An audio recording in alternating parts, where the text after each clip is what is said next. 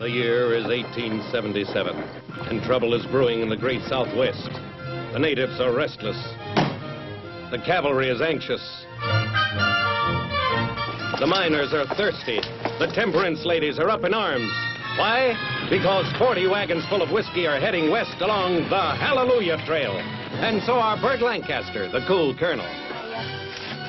I don't wish to intrude on your privacy, Colonel, but this is vitally important. I'm taking a bath. Well, the sight of a gentleman taking his bath is not foreign to a woman who's been widowed twice. You forgive me if I don't get up. Lee Remick, the hot-tempered temperance lady. And if we are to respect man, then we must save man from himself and from the poison of alcoholic spirits. Jim Hutton, the agitated adjutant. Chief says, no more peace. Pamela Tiffin, the colonel's delectable daughter.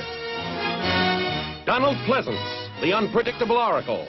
The chief says he wants uh, 20 wagons of uh, mini waka, uh, crazy water. 20 wagons of whiskey?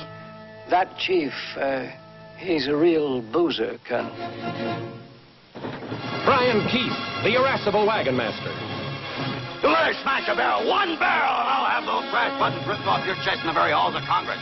Now, I'm a taxpayer and a good Republican. Say that one more time, Mr. Wallingham, and I'll bust you right in the nose. And when they meet, all hallelujah breaks loose along the Hallelujah Trail.